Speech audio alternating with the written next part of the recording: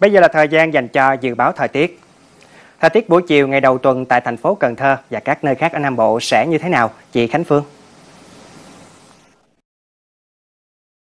Dạ vâng, xin chào trường quay VTV Cần Thơ và chào quý vị khán giả. Ngày hôm nay thì Cần Thơ cũng như khu vực Nam Bộ sẽ có mưa về chiều muộn. Đầu giờ chiều nay vào lúc 13 giờ thì Cần Thơ sẽ có nắng mạnh và nóng rõ, nhiệt độ cao nhất sẽ lên đến 34 độ. Mưa dông sẽ xuất hiện rải rác sau 4 giờ chiều, với lượng mưa cũng không lớn. Tối đến thì trời sẽ chuyển tạnh ráo và dịu mát nhanh. Đến khoảng 22 giờ thì nhiệt độ chỉ còn khoảng 26 độ. Các nơi khác ở Nam Bộ cũng tiếp tục có nắng đến khoảng 15 giờ chiều. Cường độ nắng thì khá mạnh, cảm giác nóng rõ vào vài tiếng trưa chiều.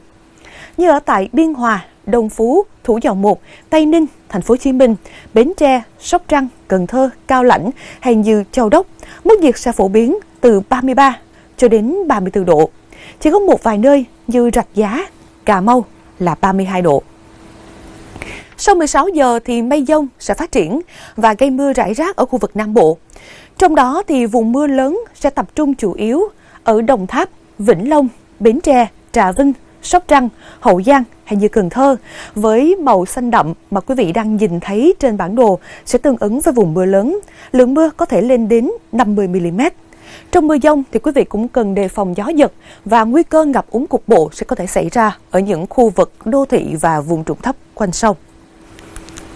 Ở tại thành phố Phú Quốc thì cũng sẽ có mưa về chiều.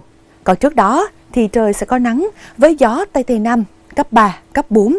Nhiệt độ cao nhất trong ngày sẽ không vượt quá 31 độ, cảm giác dễ chịu. Trên biển thì khu vực biển từ Bình Thuận cho đến Cà Mau, Cà Mau cho đến Kiên Giang, bao gồm các quần đảo như Phú Quốc, Nam Du, Thổ Chu hay như Côn Đảo thì cũng cảnh báo sẽ có mưa dông rải rác.